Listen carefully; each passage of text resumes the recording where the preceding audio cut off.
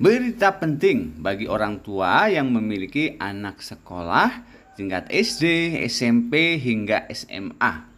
Untuk segera bisa melakukan ini sebelum 29 Februari 2024. Agar bantuan pendidikan sampai dengan 1 juta rupiah bisa dicairkan.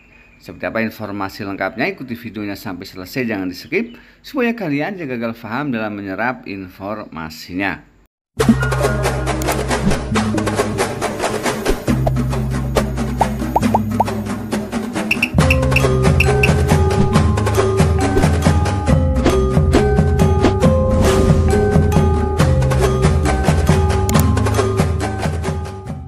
Halo guys, Assalamualaikum warahmatullahi wabarakatuh dan salam sejahtera buat kita semuanya.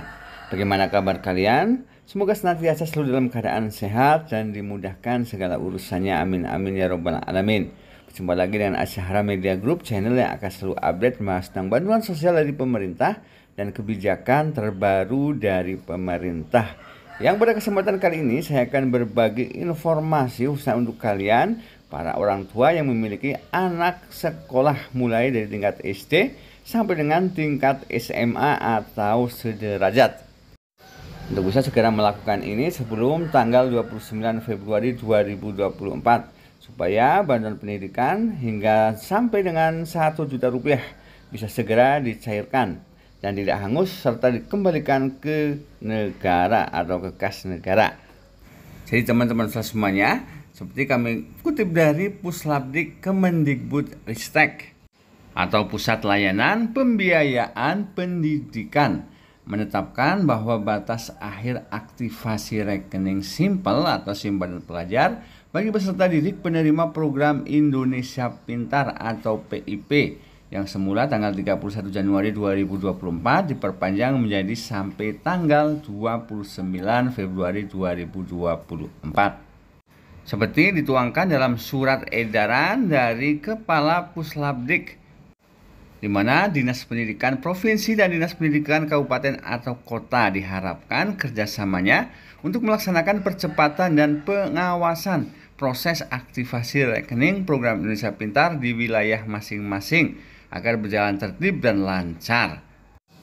Menurut Kepala Puslabdik Abdul Kahar, perpanjangan batas aktivasi rekening simple tersebut dikarenakan adanya laporan dari Bank Penyalur per 15 Januari 2024 bahwa dari sebanyak 18,1 juta penerima PIP tahun 2023 terdapat 1,3 juta peserta didik yang belum melakukan aktivasi rekening ya tepatnya 1.323.357 siswa yang belum melakukan aktivasi rekening.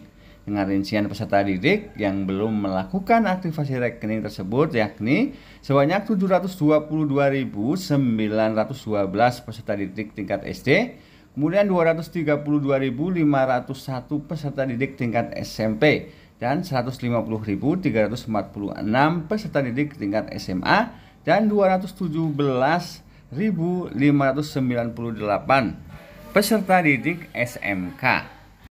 Jadi teman-teman semuanya seperti kita ketahui bersama PIP adalah bantuan sosial berupa dana personal untuk siswa miskin agar tidak putus sekolah. Karena itu kami kembali memberikan peluang lebih panjang bagi peserta didik calon penerima PIP untuk melaksanakan aktivasi rekening ujarnya. Namun Abdul Kahar menekankan apabila sampai dengan tanggal 29 Februari 2024 rekening masih belum juga diaktifasi, maka dana bantuan program Indonesia Pintar tersebut akan dikembalikan ke kas umum negara melalui proses yang sesuai dengan ketentuan yang berlaku. Kemudian dalam surat edaran disebutkan Dinas Pendidikan, Satuan Pendidikan dan Orang Tua dapat mengetahui data-data peserta didik yang belum melakukan aktivasi rekening dengan mengunduh datanya di aplikasi SIP Pintar dengan alamat di https titik dua garis miring pip.kemdikbud.go.id.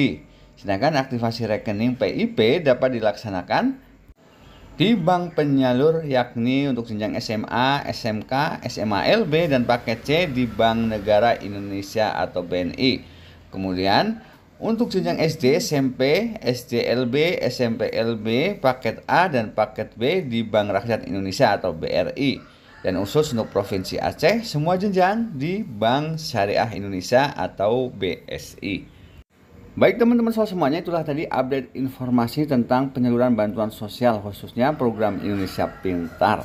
Semoga bermanfaat dan tentu saja kami akan terus mengupdate informasi terbaru lainnya. Akhir kata wassalamualaikum warahmatullahi wabarakatuh.